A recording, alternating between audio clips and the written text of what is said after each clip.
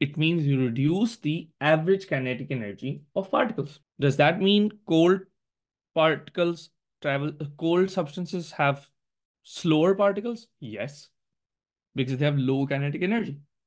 Hot particles have higher part, uh, hot substances have higher kinetic energy? Yes. If something is hot, that means it has higher average kinetic energy. Now, averages are interesting. Average does not depend on one particle. Average depends on the whole particle.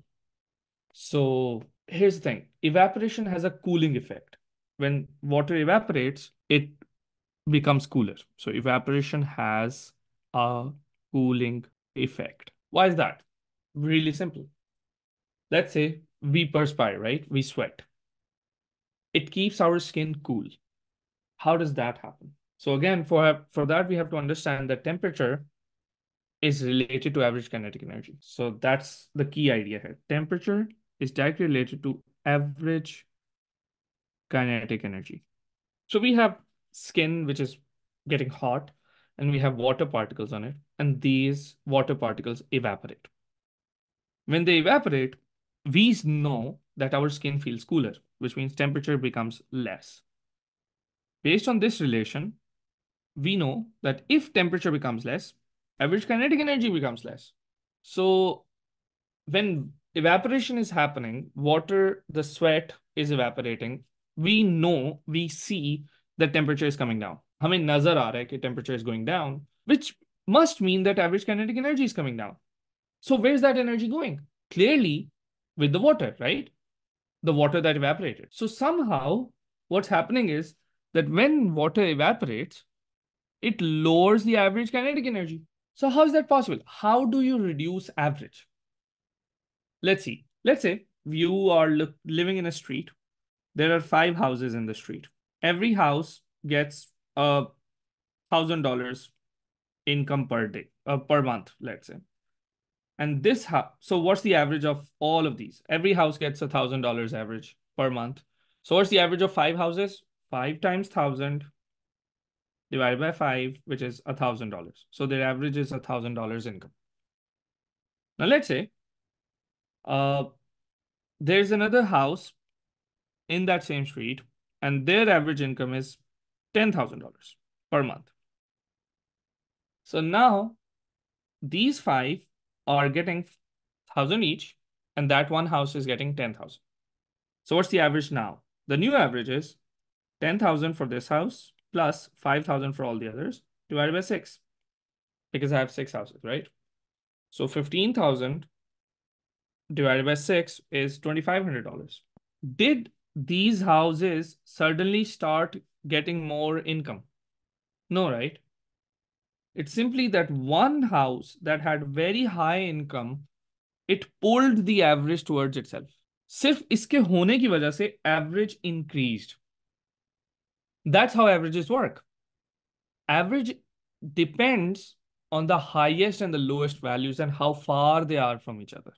अगर एक value बहुत high है compare to everything else it will pull the average towards itself it's kind of like अगर एक class में पांच बच्चे fail हो रहे हैं लेकिन एक बच्चा हंड्रेड ले रहा है तो क्लास की एवरेज उस हंड्रेड की वजह से काफी इंप्रूव हो जाएगी even though the class is still performing really really bad and that's how averages work. Over here, we are seeing that when things evaporate, we see a cooling effect, which means temperature goes down, which means average kinetic energy goes down. So evaporation has somehow reduced the average kinetic energy, the average. अगर मुझे इन houses की average कम करनी है and let's say I remove this house now ये वाला house I remove it so their average goes down to a thousand because now the higher value जो एक बहुत ज्यादा हाई वैल्यू वाला था it is not pulling the average anymore. So from this simple example, we can see that average changes based on the outliers or the values that are very high and very low. So if you want to drop the average, just remove the higher value things. And if you want to increase the average, just add the higher value things. Now, coming back to this relation, temperature going down means average kinetic energy going down, which means particles with high kinetic energy have gone out. Just like in this example, the house with high energy, high income, if you remove it, the average goes down. Similarly, the particles with high kinetic energy, if they are going away, then average kinetic energy goes down. So what does that tell me? It tells me that when we sweat, the particles that evaporate, they have high kinetic energy. And when they go away, the average goes down, which means temperature goes down. And that's why we see a cooling effect. Do you get it? So uh, evaporation is that high energy particles leave from the surface. So average kinetic energy goes down, reduces, and temperature lowers. That's it.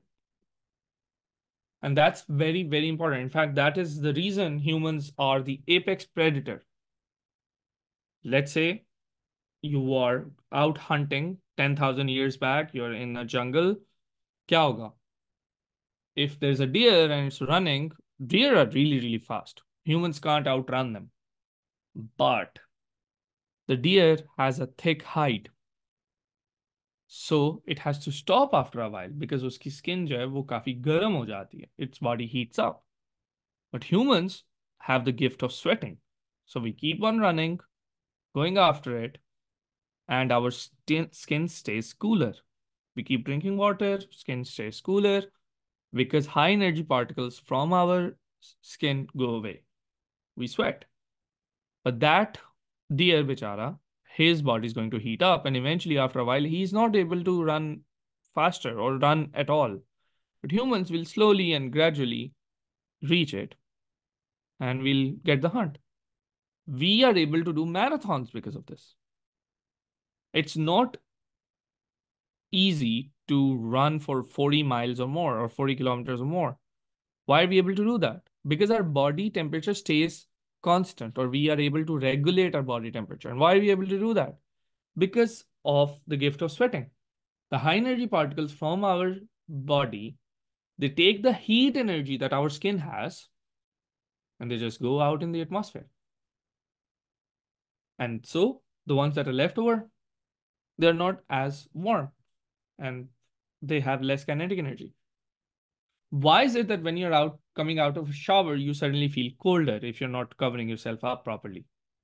Or when you're coming out of swimming pool, you're supposed to cover yourself up. Or when you see Olympic uh, competitions, they always cover them up in aluminum uh, foil or some uh, blanket because they don't want their body to basically lose all that heat right away. Because if that happens, our, let's say अभी उसने swimming करके निकला है या बहुत ज्यादा running करके now there cooling there cooling down we want them to cool down slowly. We don't want their body to evap evaporate all the sweat too fast because then the cooling effect will be too high and they might get sick.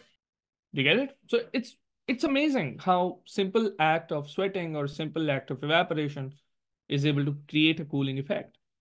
And evaporation happens from the surface. That's important. So if the surface is higher, evaporation is faster. If the surface is smaller, evaporation is lower. So for example, if I have two pans, one is this one and one is this one, which one will have, which one will cool down faster? The one with higher surface area, which is this one. So higher surface area means higher rate of evaporation because yahan se particles they're able to escape more. And again, it's always the high energy particles that do that. Okay, so now we know how temperature changes. It changes because of the average kinetic energy. And evaporation is when high energy particles leave from the surface. But what about boiling?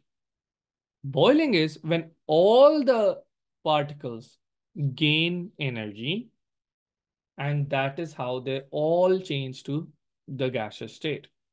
They overcome the forces. How is evaporation different? In evaporation, only the high energy particles leave. In boiling, all the particles eventually leave because they all get more energy. But in evaporation, only the ones that have high energy, they leave. Make sense? Yeah. Perfect. Sometimes they ask you to like give differences between evaporation and boiling. So just know that boiling happens throughout the liquid. Evaporation only happens at the surface. Boiling is, uh, so I'll just write